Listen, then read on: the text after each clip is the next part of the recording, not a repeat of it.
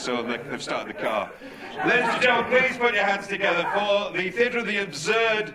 Uh, I don't know, panel? I guess so. Ladies and gentlemen, uh, Mike Cule, Richard Hope, David Learner, Cindy Oswin, and Jonathan Petherbridge.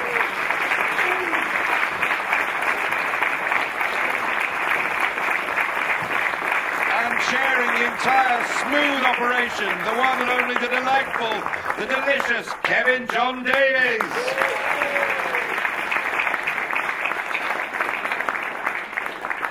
Thank you very much. Where are we on? Hello?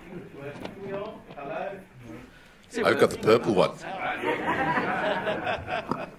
So, here we have, working from the far end, Mike Cule.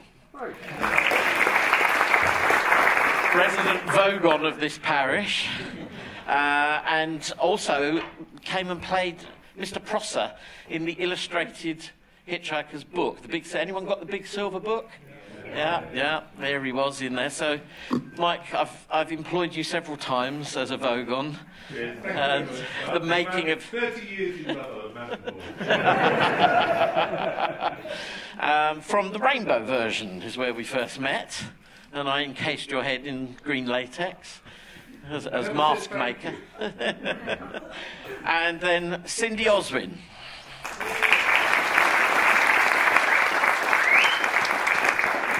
Now, Cindy, you had the unusual job, which you shared with uh, Maya, of playing Peter Jones's role, which you were the narrator of the very first stage version at That's the right. ICA in 1979.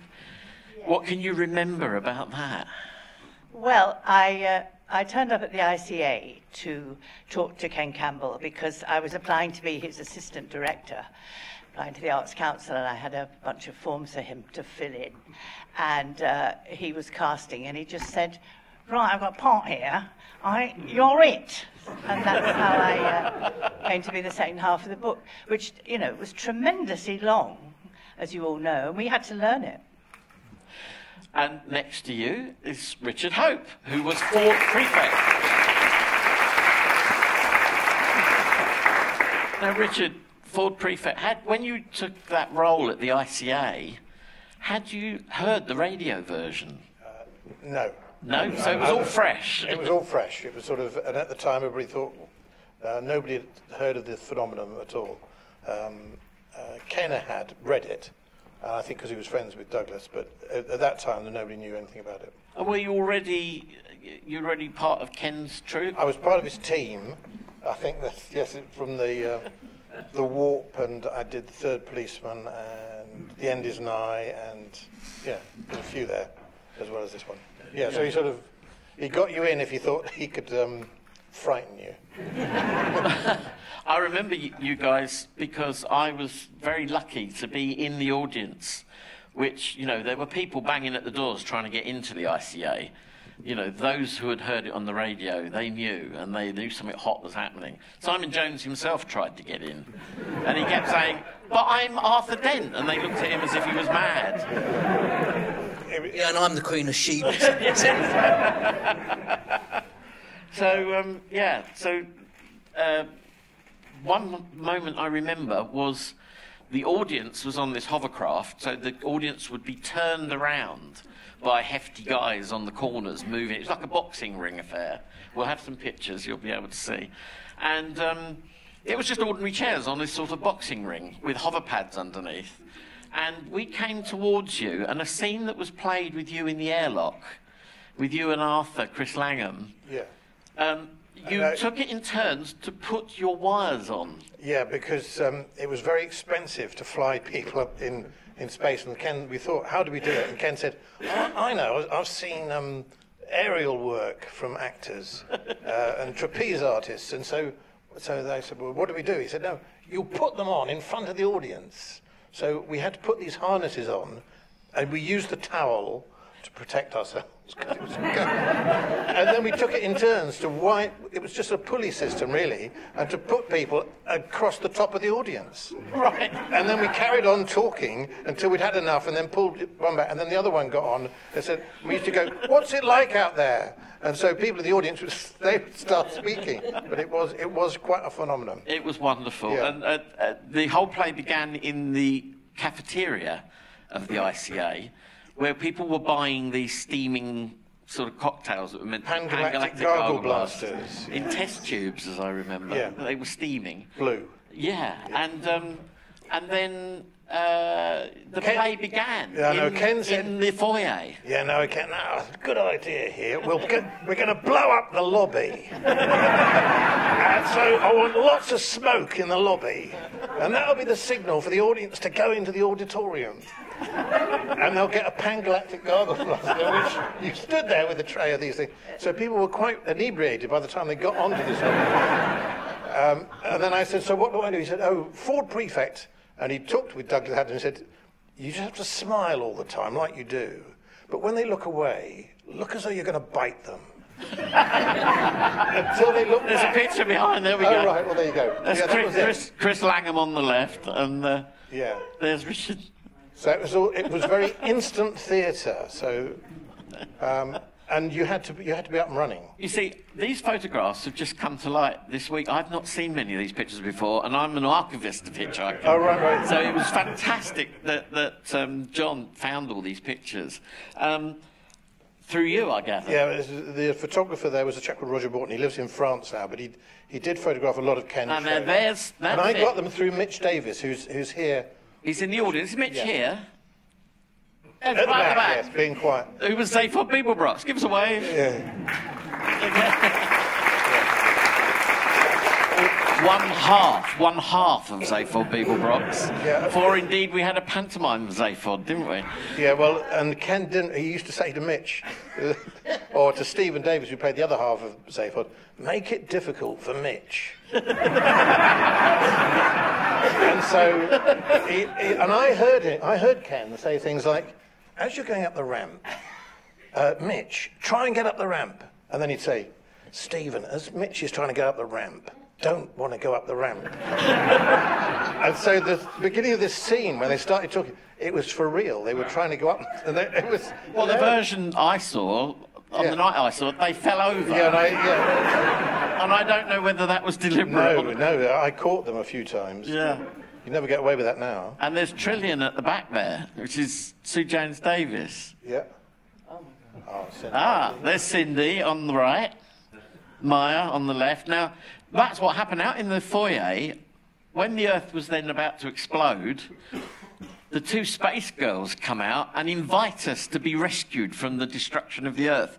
And we all went into the theatre, the audience all filed in with you, you two like sort of space, you know, hostesses. Well, you, you really, yes, it was necessary to actually guide people because they had had the pan-galactic gargle blasters. they had been told the Earth was about. Look at that. You've got a great picture here. and um, they were confused. And there was piles of smoke coming out of the auditorium. So we helped everyone up onto the uh, hovercraft up rather rickety staircase. Masses of smoke, big bang from a maroon. You know, the poor things were roughly disorientated. and then it rose into the air and did a 360 degree turn. There was smoke and sound effects and lighting flashing, and it was amazing. Yeah, so Anyway, all, all the scenes happened around the edge of the building. And, yeah, uh, the sets were built in a circle, weren't they? yeah, so you didn't know quite. And then it all went black as you went on your little hovercraft journey. while we hurriedly changed the sets or whatever and jumped up on these platforms. Yeah. Yeah. And there's, gave a There's Ken with his dog down the front there. there's look. Werner there. Yeah. And I think we were rehearsing Vogon poetry torture. Just up here. Yeah. It did give an extraordinary uh, illusion of space because the ICA theatre is not that big. And just to be whizzed around every few minutes was extraordinary. And we were on it all the time. And it never failed to amaze me what Ken had done with the space. It's astonishing. Well, we'll carry on. The pictures will carry on, but I've that got one, the, one uh, other tale that, that, that's quite interesting. Is no money for this project, no money, no, no wages. just people who want to be in it. and, and he, he said, you will get an evening meal. in which you get, all the money has gone on the hovercraft. Well, we will we'll come back to uh, talking about Ken in a little while. I'm going to skip on because that was the very first stage adaptation of Hitchhiker, very soon after the original um, seven episodes of the radio. Um, but then the next version was at Theatre Clwyd, and so I'd like to introduce Jonathan Petherbridge.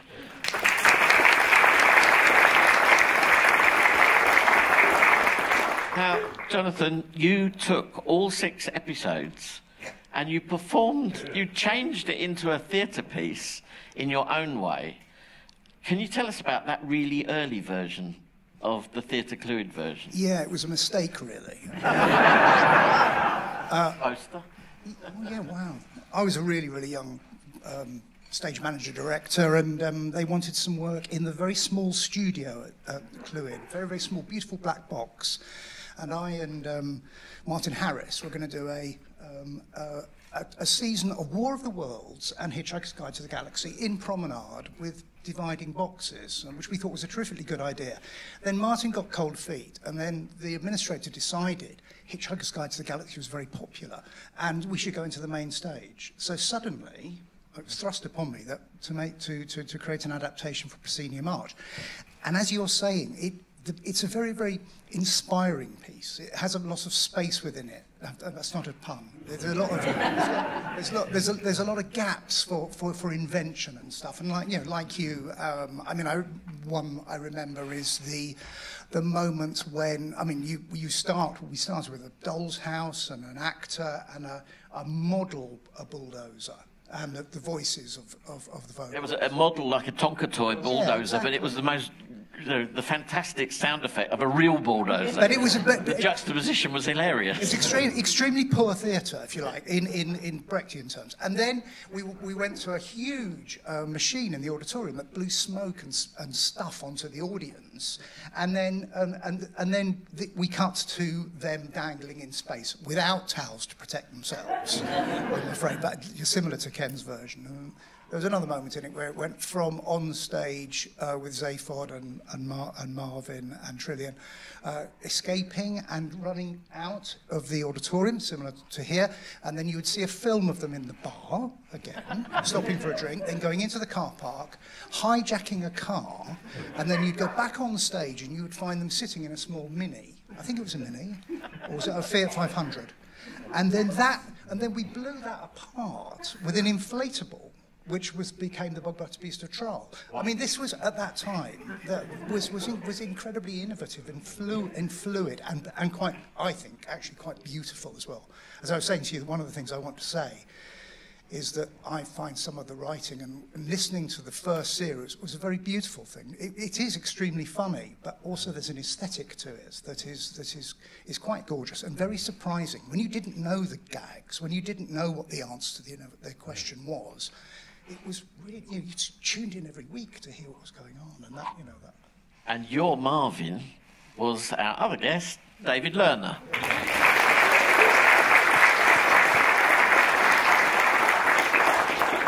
So this is long before you were trapped inside the tin can on television. This is Marvin at the very. Had You'd heard the radio version? No, hadn't heard the radio version, uh, and it was only during, I think it was after we had started touring uh, from North Wales, uh, Bangor, that sort of area, that I heard it for the first time. And I didn't, I didn't know what to do for the voice or anything like that. But Alan Bennett had just been on the radio doing Eeyore. Oh yes. That was, and that was it. I thought, oh, well, this is fine. I mean, I don't know who this Stephen Moore is. And I hadn't heard it. And then I heard Stephen during, uh, you know, as I say, and I go, oh, he's quite good. and what I couldn't have known, what we couldn't have known, uh, because I, I, I really should say here that I wouldn't be here if it weren't for this man on my left, Jonathan Petherbridge. It was Peth's brilliance, his imagination, his zest, his uh, ability to take six times half hour radio scripts and take them, uh, turn them into a show. I was, I was doing the music at the time. I was writing the music for Ali Baba and the Forty Thieves. I wrote the music. And um, it was good. And, uh, and such was the budget that we, we only had two thieves, didn't we? Ali Baba and the two thieves. But, but I remember very, very well uh, being at the piano and writing this crap music, this awful music. And uh, he, he came in with these six half hour scripts and said, We're doing The Hitchhiker's Guide to the Galaxy. And I'm going, What? The Hitchhiker's Guide to the Galaxy? And he said, You're playing Arthur Dent or, or, or Marvin. And I, I don't know, I didn't know who either of them were. And uh, eventually he would say, Oh, Mike wants to play uh, Arthur Dent, so you're playing Marvin. and we, we did the we did the read through 1979. This was Christmas 1979, and Sue Elliott, who played Trillian, we did we in, in the, the, the theatre Clwyd green room, and. Um, I, I said that first line. Oh, I think you ought to know I'm feeling very depressed. And Sue went, "Hooray!" Great crowd. You know, I had no idea what, what, I, what I had just said. When we came to play Bangor, the, the, the theatre erupted. And I, I think I would have, And I literally looked round to see who else had come on. Because I thought that something was funny was happening. And had no idea that what I had said would still be talked about 42 years later. That's where we are. Very good. Well, uh, yes, quite right. Stephen Moore Yeah. had exactly the same response, or rather, the audience responded the same way to that line. His very first line, I think you ought to know. Um, at the 2008 um, 30th anniversary performance of episode two at the Royal, Ge- Royal Geographical Society, um, and he hadn't realised. And I, we, we do have a video of it, but I don't think we got it today, unfortunately. But it was um, his smile just grew when he realised that one line lit up the room. Everybody loves Marvin. It is, it, it is extraordinary. You're going to have to do it later, obviously, um, because we're doing the episode two again. We are doing episode two again. It's a good one because it's Yeah. got everybody in it. And Yeah. But no, I mean, Peth is the man. And, and, and, and, and as a result of that, Alan J.W. Bell came to see the Theatre Clwyd production. The, the BBC were, were scouting around. And I was eventually asked to audition for the TV, but that's the TV. We'll get onto the rainbow in, a, in a moment. But um, Jonathan, you, you got any memories of those earliest shows? Any actual things in the performance that The, still um, stay with you? the theatre car park at Bangor, where we opened. Uh, we divided the, the, it into three parts, so you had to come over three evenings initially. And our designer, Paul Condras, was very ambitious. And in the, in the car park after the third night, you saw most of the set. Most of the set had been ditched. Oh. We actually, he completely over-designed everything. And I just remember going, are we going to take this back to Clwyd or are we just going to leave it? It was before recycling, I'm afraid. And uh, we, left, we, we left most of, the, most of the set there and went down to a very, very sort of minimalist set. I mean, it was really minimal. Do you remember there was no curtain call? Oh my God, yes, there was. I, I, Just I- blowing leaves. yes, yes. And, and, and We left them wanting more. Well, the auditorium was empty at that point. That's true as well. And I also remember, do you also remember the, uh, when we toured to Cardiff, the, the party who came, there was, a, there was a, like a coach party who came, but they weren't wearing towels. They were all wearing black bin liners. And they sat in the back three rows and rustled quietly. Yeah. That's right. Why? Well, that, that's my memory. Until I saw these photos again, my memory of the ICA was that all the sets were very sort of cardboard, tin foil, you know, black bin bags. It was it was punk, you know, that time. There is a punk style poster for the ICA version. I tried to find it today. I can't. I think it must be in my loft. But it's It wasn't punk in North Wales. no, no. well, that's quite that worked. I, I, I do remember, I mean, I so full credit for getting on at Clwyd, but I do remember sort of Douglas saying that um, to Ken, here are the scripts, I don't think it will make a play.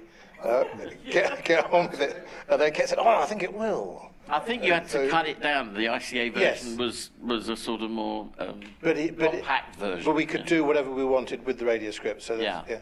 And I think the reason the radio scripts work on stage was because all you needed was imagination. Yeah. uh, And a know, towel. and a towel.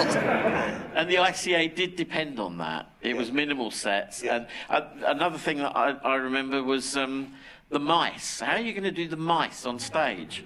Well, there, w- there were pictures. I don't know if it shows the forced perspective table that Ford and Arthur sat at. Do you remember? Yeah, yeah, yeah. Yes, Do you want to because you- explain how you did it? Well, we just did it with like with little fingers, with our fingers through the table. Like, uh, though- so you're talking to yourself. But what I remember is you made no pretense that these mice were going to appear by surprise. No. Because there was, you could see them putting the, glove on, and then they'd pop up in the middle of the table, and you did the sort of ventriloquist thing right the side of your mouth. It was lovely because it just took the audience with them. You know, that's what I enjoyed. Now, I didn't get to see the Clwyd version until you toured some months later. We're going to skip over the rainbow for a moment. You toured it again in, I think, late 81 Well, or early I, I think it was. 82. A, I think it was a year later. You disagree? I don't know. I remember 82 was Plymouth. I thought it was 81 because I just. I've got- probably got a document on my computer at home that says the actual date, and I should have done my homework. I yeah, we, we sort of compressed it into one long evening.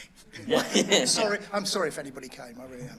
Um, but I caught up with it at Poole, which is where I met you. Yeah. And I'd, Yeah, yeah, I'd got yeah. a video camera and shot some little interviews with you and Roger Blake, who was Yeah. the Yeah, book, yeah, yeah. Yeah. and um, Lewis Cohen. Yeah. Yeah. Yeah. Well, Roger was the book at the Rainbow as well. I He think. was. Yeah, Yeah, yeah, yeah. yeah. So he was very good. Why do you remember the Towngate Theatre? Why did you come to the Towngate Theatre? Uh, because my friend was uh, studying at Southampton University, Right. and we took a little car trip down to Yeah. come and see the show. Because my, abide, my abiding memory of, of playing the Towngate Theatre Poole was that there was an NCP car park. in and I had a little mini in those days. And, uh, you know, you'd, you'd park, you'd, you'd take a ticket from the bloke. Go, morning, morning, morning. And you'd leave. And, of course, you wouldn't pay because you were there all day. So you didn't have to pay. And, I, you know, and eventually on the Thursday morning, John, who was playing Ford, he was just in the car in front of me. And he was parking at the same time. And this came, it was this really argy-bargy going on. And I said to John, I said, what, what was the problem? He said, oh, he, well, he came to see the show last night. well, yeah. Yeah, and he said, you were bloody awful. and then he let me through. I'd arrived. Ah, tough audience in Poole, obviously. Well, let's step back then slightly from that, that 82 tour. 1980, the summer of 1980. Now, I spent the first part of 1980 working um, at the animation company, Pearce Studios, on the pilot episode of the TV version. So I was a young animator, and then 12. You're very. I was 18.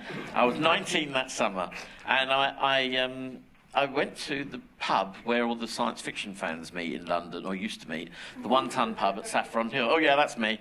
um, and um, a, a guy came round. I was handing out flyers to come and see uh, a first screening of the TV pilot because the management at BBC didn't know whether it was funny or not, so they had to record a laughter track at the NFT. He knew it was expensive, but not they- necessarily. yeah, funny. they were worried. They were going to put a laughter track on, and Alan Bell was fighting that desperately. Not, we didn't want that. Anyway, that was going to be recorded, so I was handing out flyers for that, and this other chap came along handing out flyers for a stage show of Hitchhikers that until then nobody knew about, and it was only two weeks away. This is typical Ken, isn't it? And this was John Joyce, the actor, great mate of Ken's. He was handing out those flyers. I was handing out the other ones. That's that's the that's the program booklet cover. Price 50p. Look at that. Um, so he was looking for people to volunteer to come and make props and masks. So my friends and I all volunteered, and I started sculpting Vogon masks. And I think I took a mould off your face or something. I think that was one of the two occasions. Yeah, it didn't look like you in that picture. but- um, They, definitely cut with my face was dropped, dropped by the, the TV scene. Yeah. But I don't remember I don't know. I think I think it was more. I think it was more primitive. Yeah, it was. It was. It was almost like a rubber rain hat that you pulled on with elastic chin, chin strap or something. But your costume was inflatable. wasn't Yeah, it was. It was. Uh, it, it was basically a series of balloons outside my body. They were still putting it together and gluing it together when I went on on the first night. Which tells you something about the Rainbow Theatre. What I did like was they had this uh, sort of big curved. Balloon. Yeah, yeah. And Ken insisted that I do the, the, the obvious rude gesture with with with, uh, with my, my? Blurglecruncheon. or whatever it was. Yeah, in the poem. Yes, Or I else I rend thee- rend thee. Yeah, that one. Yeah. And the I th- I thought it was a all little- wobbled their ver- Yeah, blurgle yeah. crungen. I'm not proud of having been an actor. No. Well, on that, um, I think that was the first time I met you. Yeah, well, I, I, it wasn't a shoe in that I got Marvin at all. Uh, and indeed, it was you probably who was instrumental in, in ensuring. No, no, no, no, no, no, no, in ensuring that Douglas knew Ah. that I wanted to do the telly. Yeah. Uh, right. Alan, But, Alan Bell came to see the Rainbow Yeah. Stage show, yeah.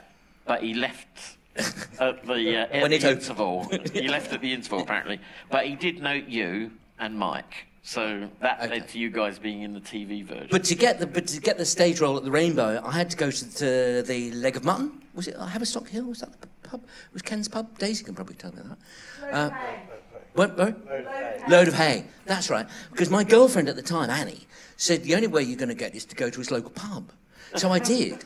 So I went. So I went to the pub, and I said, "Hello, I'm David." And he said, and I, and uh, and I said I played Mar- Marvin at, at Theatre Clwyd, where, you know, and so it was that conversation. It was really quite embarrassing, and I think we had some drink. And what happened was, he said, Well, it's like a school play, David. Right, okay.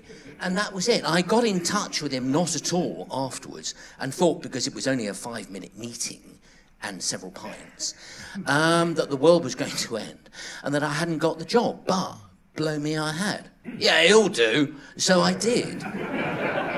So I did it at the Rainbow. Well, my friend um, Susan Moore, who went on to make Doctor Who monsters and things like that, and um, Jonathan Saville, and we, we, were, we took over one of the dressing rooms at the Rainbow, and we wrote on the door "Rubber Room" because we were making like alien fruit for Milliways and various masks and things, and people would pop their head round the door. And then looked a bit disappointed. I think they expected something a bit more exciting. And um, one day, Ken appeared, and um, he had this piece of paper which was a new page of script.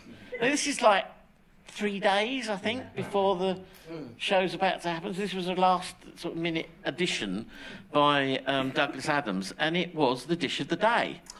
And it hadn't been done before. And he came in and he says, um, I want a big dairy animal. You can do a cow. I said, I haven't got enough clay left to do a cow.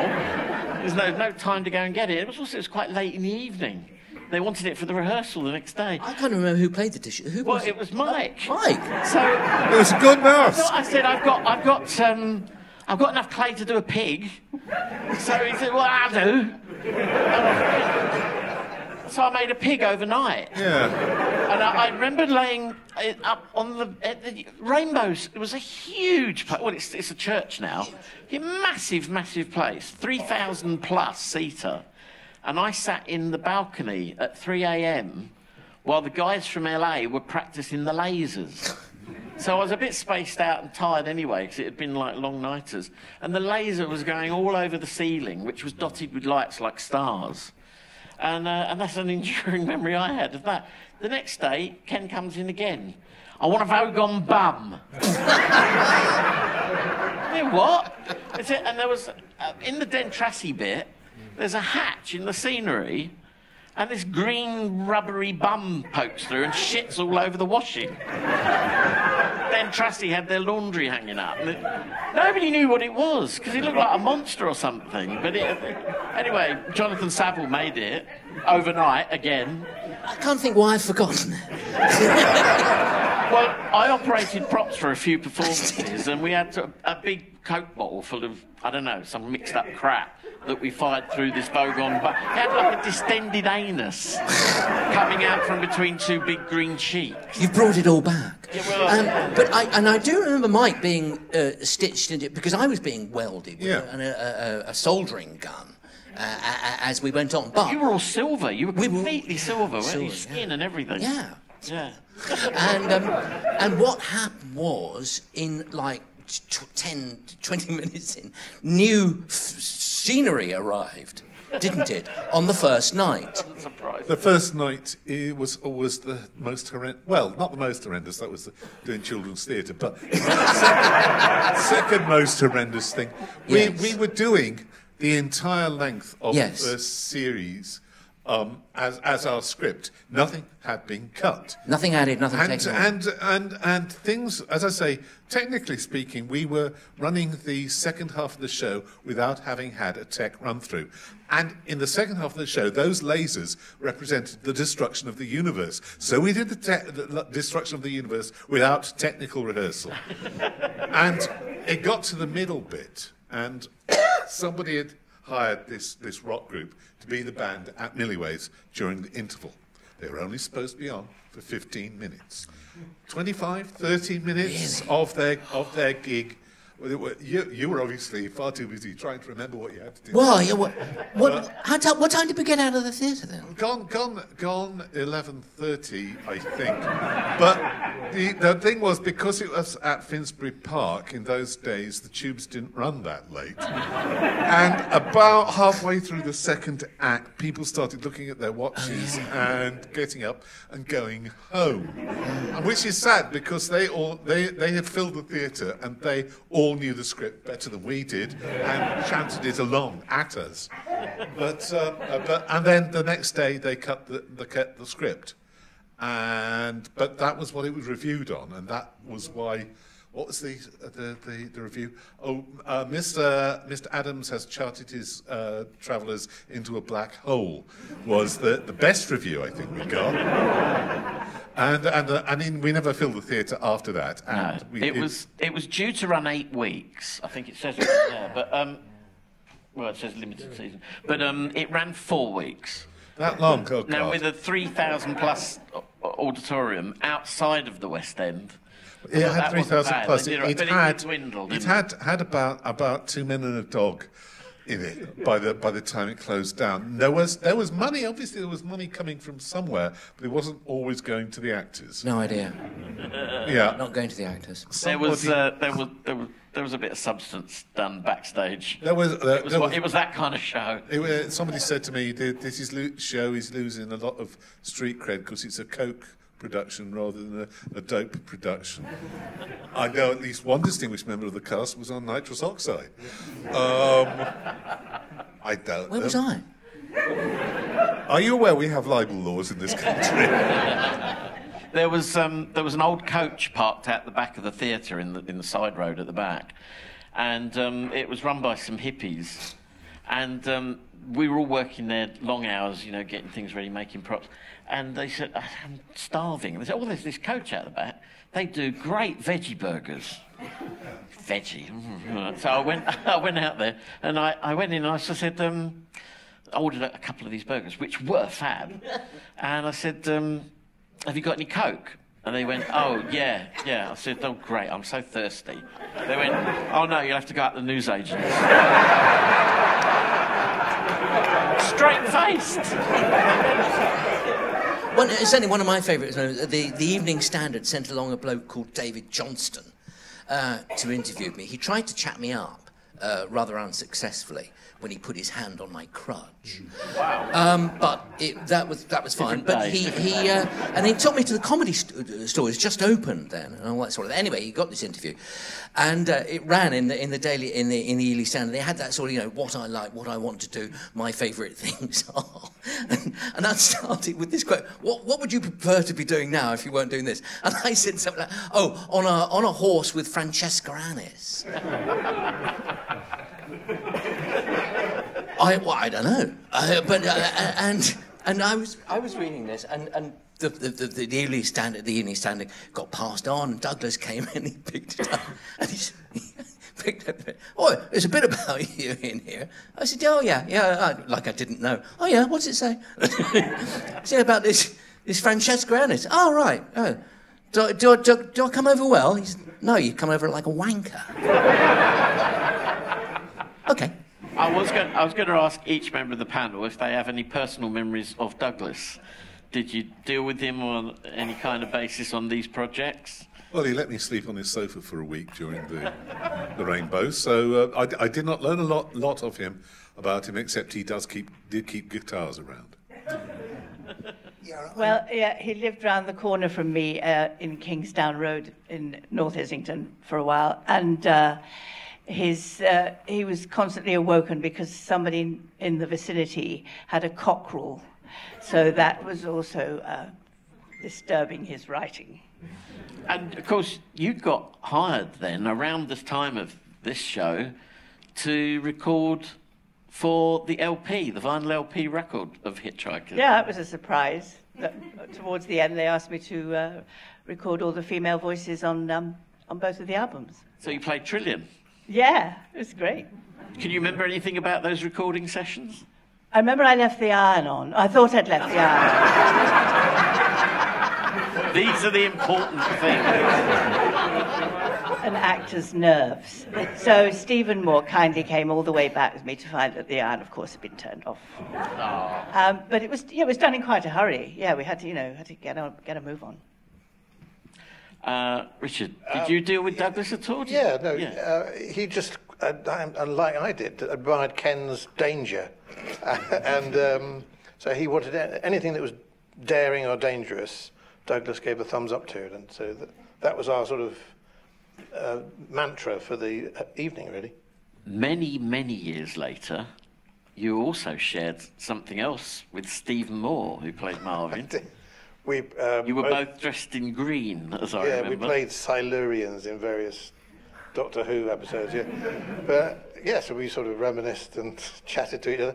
But he he was always moaning, but because his makeup took a bit longer than mine, because he had to have hands done as well, Silurian hands. I managed to get away with that, and I, I was wear, wearing gloves. Yeah. So And you also had a mask. I had a mask, Very I had a- fashionable nowadays. yeah, yeah, well, it's brilliant makeup by Millennium FX. I mean, who still do it? But I mean, yeah. So, it's, but uh, I do miss Stephen a lot. Yeah. So yeah. We, we have a little video later today that uh, as a tribute to Stephen. Now, what have we got here? Pictures from the rainbow. That's Lewis Cohen in the Star Trek shirt. David Brett playing Ford in the stripy red and white. Now, he got famous a bit later on because he was a member of. Do do do do Very good. do do do do. Flying pickets. Yeah. The Flying Pickets. That's it. We went blank for a moment there. So what am I singing? Um, Oh Roger no. Yeah, Roger. That's Blake. Roger in the pod. Now that pod was really high above the stage, and he got lowered down from this immense proscenium arch, which has this kind of Italianate village all built all around the sides. Her name was Beverly, was it? Beverly, Beverly. yes, in there. She was in Flash Gordon as well. I spotted. Was she married to a vicar? I've no idea. No, but I'll tell you what. Yeah, she and Roger spent quite a bit of time in that pod. They did. Yeah, in the shadows before they had to be lowered down for him to do the next bit of the up. book. Yeah. That's the bar scene. Wow. Who we got there? I can't recognise them all. Uh, no idea. that was to one side of the stage. Dave. Dave was the barman. I can't remember Dave's surname. Fu- it was Mitch on absolutely. the end. That's Mitch on the Mitch on the extreme end. right. Yeah, it's Mitch, is it? Yeah. Yeah. Wow.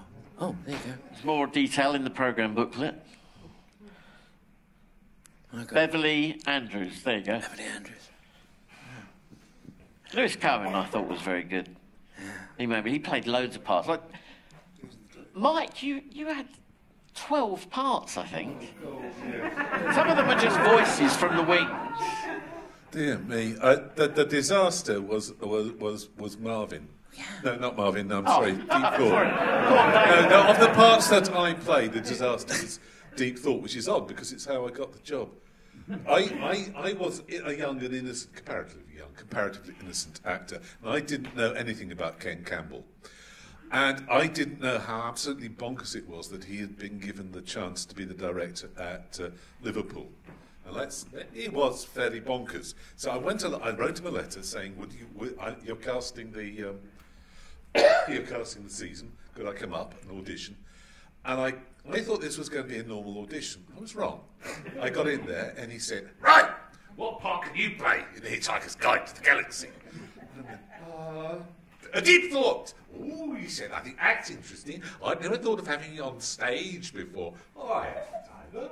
I just sat there, but eventually, well, I did it fairly straight to start with in the rehearsals, and then he came up to me and he said, Michael, deep thought. You're being boring. Which is the sort of note that an actor really treasures. and, um, and he. Uh, and he had me do it in an Arthur Mullard voice. And I, I honestly can't say it was my finest hour. The rest was all right. Um, let's see now. Uh, yeah, the, the, pr- uh, Prostetnic Vogon Jeltz and various voices and, and a mouse. We did the mice on stage um, with, with big mice heads on, off to one side, as if we were, we were being blown up from our natural size. Very odd. And, and mostly nude as the captain of the Archship B. Ah, the glory of my career. Well, we do. There's somebody missing from this panel today. Terry Johnson was going to be here. Now, he did a fantastic play called Ken, which I saw in 2016. I gather it's been done in a few places, um, all about Ken Campbell. And um, we're very lucky to have in the audience today Ken Campbell's daughter, Daisy, who I'd like to welcome to the stage.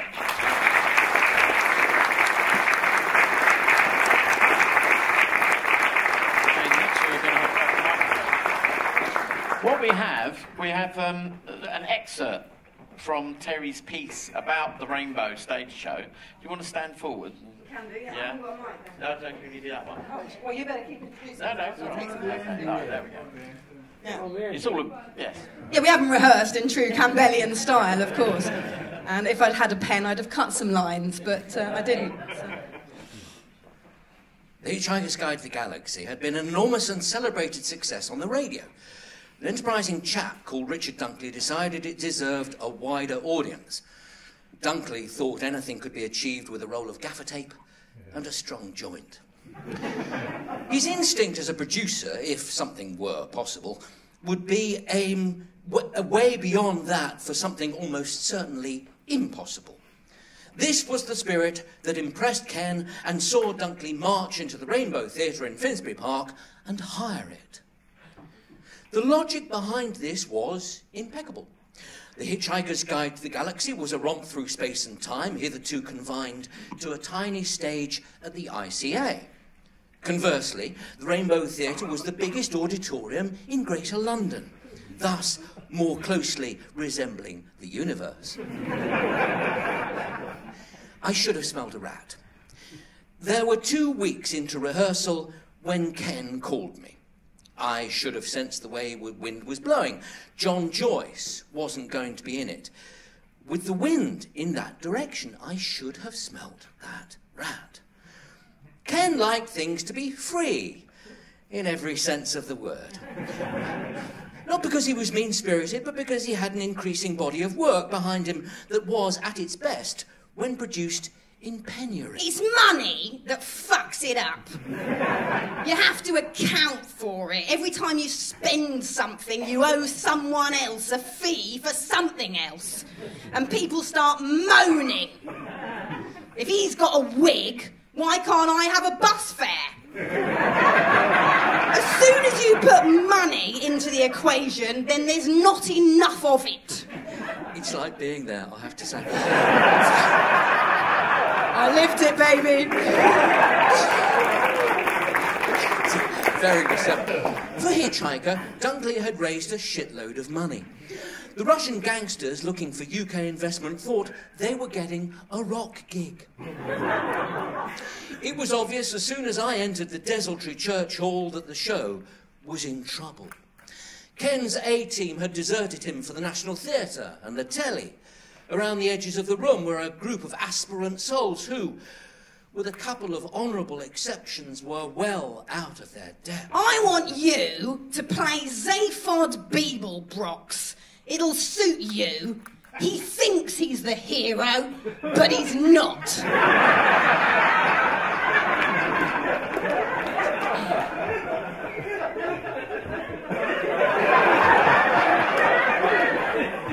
Great, thanks. Well, in fact, I want you to play one half of Zaphod Beeblebrox. This is Doug. He's playing the other half. A dour Canadian nodded at me, dourly. Doug's used to being at the front, so you'll have to go at the back and put your head over his shoulder. A Zaphod Beeblebrox had two heads. We haven't got the two-footed, two-footed boots yet, but when we do, it'll be much easier to walk. It wasn't. Terry, is it? Oh, hi, Doug. How's it going? You're my third other head so far. said Doug's head. It wasn't an easy part to play. And Doug was at the front. He got all the best lines. Ken and Richard had gone all out and hired a very illustrious designer who had gone all out and designed a transforming sculpture of a set to fill the enormous rainbow. It's complete rubbish. And we can't afford it, which is an advantage, because it's complete rubbish. So Dunkley set about designing it himself. There was a scene on the moon. He desi- I don't remember that. He designed a long crescent-shaped bit of scenery that lay across the forestage from wing to wing. R- Richard, what is that? Uh, well, I thought the moon should be made of cheese. So that's the rind.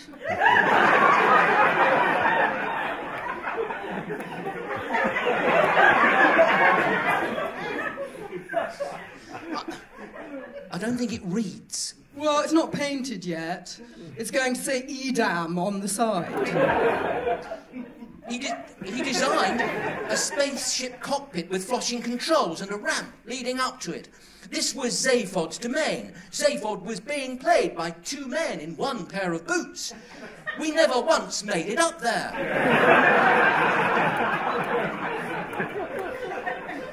There were lasers that bounced off tiny mirrors in the auditorium and formed a geometric representation of the prow of a spaceship. Another ladder was Laser. rigged. That's a typo. Another ladder, okay, oh, quite right. that ladder was rigged to create a cone of light pointing down at the apron through a cloud of stage haze. Right, Ford and Arthur, stand on the apron. When that laser goes off, I want you to jump.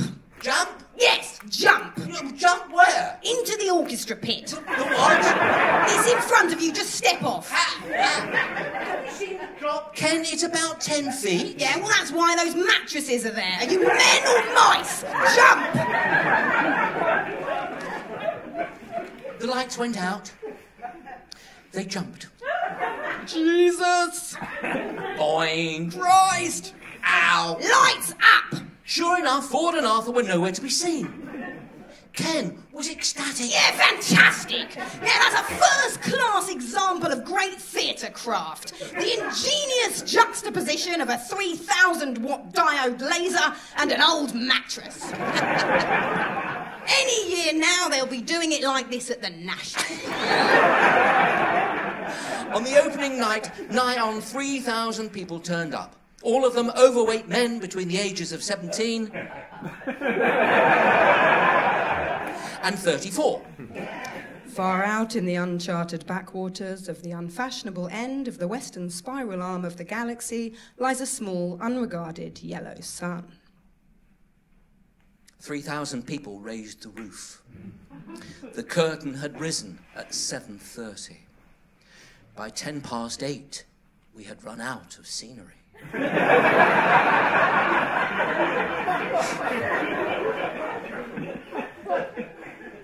the lasers were switched on.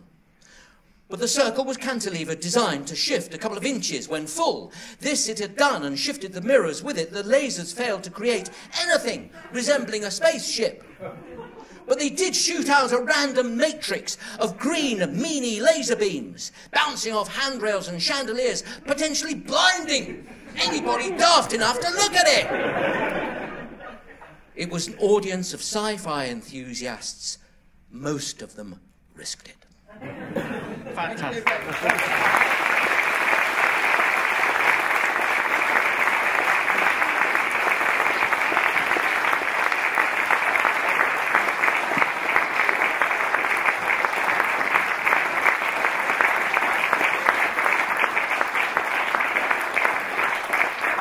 Oh boy, that was good. Thank you for that, Daisy.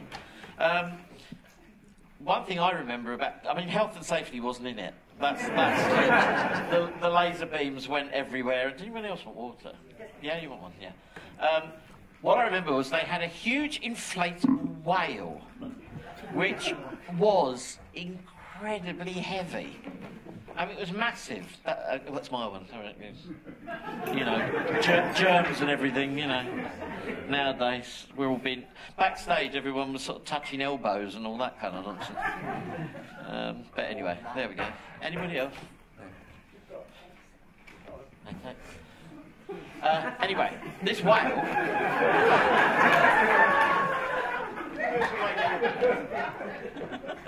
this whale was, was um, I mean, it was enormously long. It was like almost the size of a, like a single-decker bus, and um, it lay in a sort of rather deflated state up on the circle.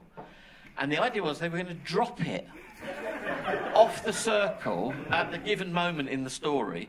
The whale would descend and bounce off the heads of the people in the stalls. And I went up into the circle and looked at this thing, and I thought, and it was thick, heavy rubber, and it would take some industrial pump to fill it up, inflate it, and that. And they decided that against it because it would have probably broken several people's necks if it had landed on them. Um, like channeling Pink Floyd here. well, something like that. In the, in the end, I think they had a much smaller inflatable they dropped on the stage. But this thing was enormous, and so they decided, well, they couldn't waste it. They'd got it from somewhere, Greenpeace or something. They, they put it on a truck and they took it down to Tower Bridge and threw it off. the,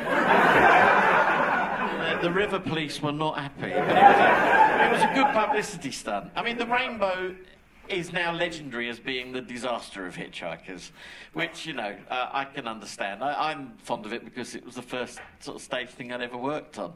Um, but, you know, like, you can't deny that it was, uh, it was definitely Jonathan's version uh, fluid that sort of had time to get it together and it toured and it did it properly. And there hasn't, I mean, there's been lots of different stage versions since, with not many professional ones. I'm not sure that it's even possible now, is it? No, Because, it's uh, possible. Because Disney have it all wrapped up, and so that the, there is the the radio uh, live tour that in 2012 and 2013. They also did it on radio, and but that was kind of a reading, which is what we're going to have later this afternoon, a reading of episode two. Um, but anyway, fond memories. Um, I don't know if we've got enough time. There's a three-minute clip of the rainbow um, with subtitles because the sound's not brilliant. It was just shot on video at the back of the stalls. So if the tech team are ready, the owl got a thumbs up there, we can have a three-minute clip of the rainbow. Just over three minutes. Right, is there somewhere we can talk? Well, We've got to talk. Fine, talk and drink. It's vitally important that we talk and drink. Look, what's the matter with you, Ford? That man wants to knock my house down. Well, he can do it while you're away, can't he? But I don't want him to. Ah. Look, what is the matter with you? Listen, Arthur. I've got to tell you the most important thing you've ever heard in your life. And I've got to tell you now, in the saloon bar of the Dog and Duck. Why? Because you're going to need a very stiff drink. So, so what you're saying is that I write poetry because underneath my mean, callous, heartless exterior, I really just want to be loved. Is that it? Well, I mean, don't we all deep down? No, quite wrong. I just write poetry to throw my mean, callous, heartless exterior into sharp relief. I'm going to throw off the ship anyway. God, eject I've been ordered to up to the bridge. Here I am, framed in the ladder, and they tell me to take you up. Call that job satisfaction. Because I do. Good God, it's her! Tricia McMillan! What are you doing here? Same as you asked for a hitched a ride. After all, with a degree in the dole queue on well, what else can a poor girl do under a Tory government?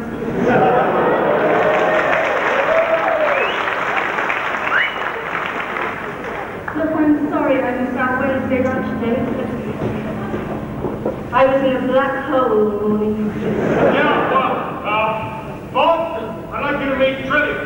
Hi, Trillian. And Trillian, this is my semi-cousin, Paul. We share three of the same mothers. Hi, Paul. Hey, uh, Trillian, is this going to happen every time we use the infinite improbability drive? Probably. Or would you like to meet the dish of the day? Dish? The dish of the day? Yeah, well, meet the meat.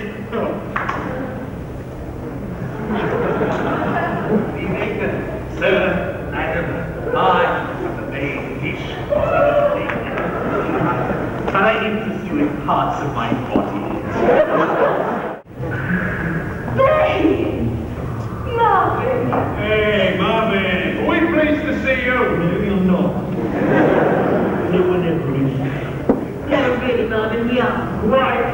Hanging around waiting for us all this time. The first 10 million years, the worst. And the second 10 million, they were the worst. Third 10 million, I didn't enjoy at all. After that, I went into a bit of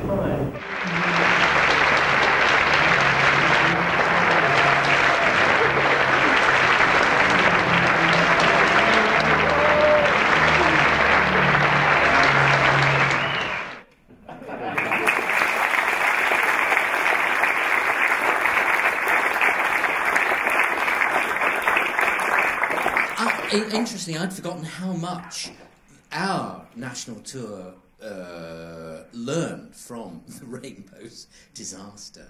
And it was your epic idea to put deep thought at the front of the show. Yes. Yeah, I was just asking backstage about that. Um, the the um, the deep thought sequence has always been quite a long stretch, of very Yeah. similar, isn't it? It's quite heavy going.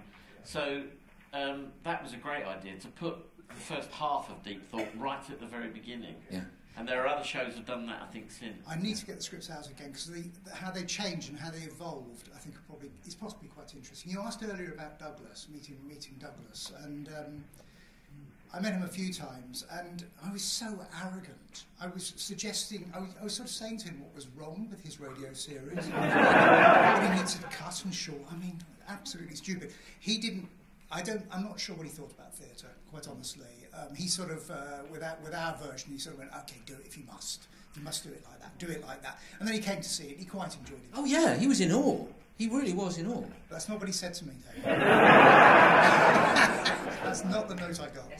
Yeah. And the other, and, and also to Ken as well. I mean, when I, when, when I went to see Ken at, when, at, at Liverpool, and I had a long conversation with him about doing, doing us both having done it.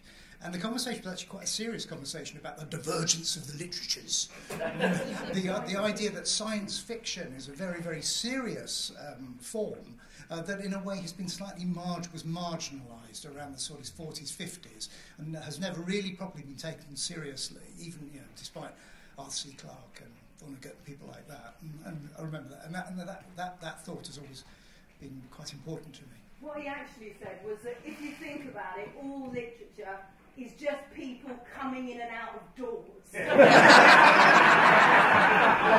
science fiction is everything else. Very good. well, ladies and gentlemen, I've really enjoyed this reminiscence of all the different early stage versions of Hitchhiker. Please thank our panel. Jack Curry, Cindy Oswald, Richard Howe, Jonathan Petherbridge, and David Lamb. And Kevin John Davis!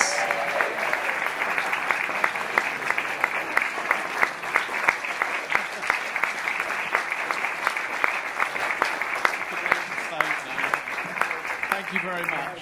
And I'll hand back to Toby Longworth. Thank you. Yeah, that's, uh, that's, fantastic. Kevin, no, was Kevin. No,